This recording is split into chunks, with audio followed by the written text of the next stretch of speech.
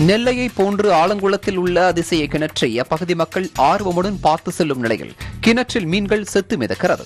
நெல்லை மாவட்டத்தில் கடந்த சில தினங்களுக்கு முன்பாக பெய்த கனமழை காரணமாக ஒரு கிணற்றினுள் மட்டும் தண்ணீர் எவ்வளவு பாய்ந்தாலும் கிணறு முழு கொள்ளளவை எட்டவில்லை.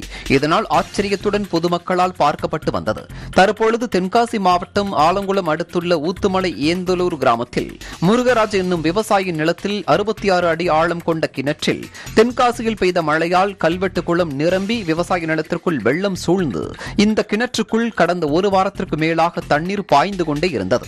இருப்பினும் கிணறு பாதி அளவை கூட தாண்டாமல் இருக்கிறது. அதிசய கிணறாக பார்க்கப்பட்ட இந்த கிணற்றில் மீன்கள் செத்து மிதக்கிறது. இதனால் தொற்று நோய் பரவும் அபாயம் ஏற்பட்டுள்ளதால் சம்பந்தப்பட்ட அதிகாரிகள் நடவடிக்கை எடுக்க பொதுமக்கள் கோரிக்கை விடுத்துள்ளனர்.